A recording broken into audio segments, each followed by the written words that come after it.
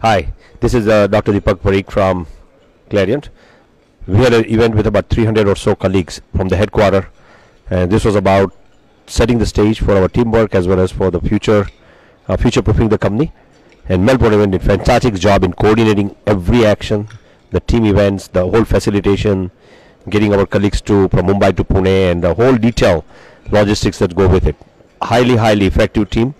Uh, very pleased with what they did, and uh, I really want to thank them. In the future, if I have to do something like this again, surely we'll be going with them. And also, I just want to take uh, in particular Navin and Niful. Uh, the leadership was excellent.